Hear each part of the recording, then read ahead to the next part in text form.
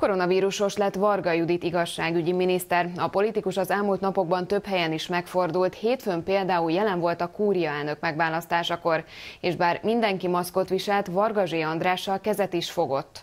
A kontaktkutatással kapcsolatban kerestük a miniszterelnökséget és a szaktárcát, de nem válaszoltak.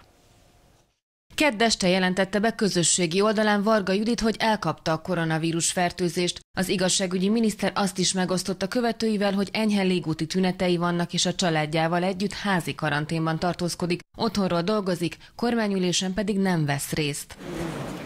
Varga Judit október 19-én jelen volt a parlamentben, amikor az országgyűlés a kúria elnökévé választotta Vargazsi Andrást. A gratulációkor kezet is fogtak. Varga Judit azonban nem csak vele találkozott. A parlamentben ott volt szinte az egész kormány és a miniszterelnök is.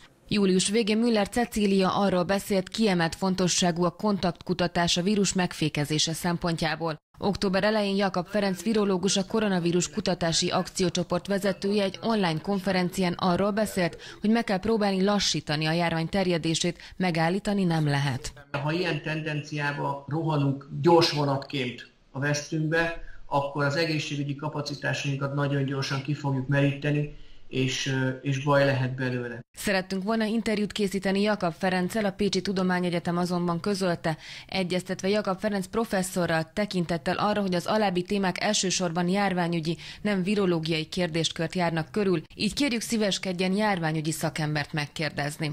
Kerestük a miniszterelnökséget és az Emberi Erőforrások Minisztériumát. Szerettük volna megtudni, hogy letesztelik-e azokat a kormánytagokat, akikkel találkozott Varga Judit, és hogy vajon letesztelik-e a miniszterelnököt. Ám adásunkig nem kaptunk választ.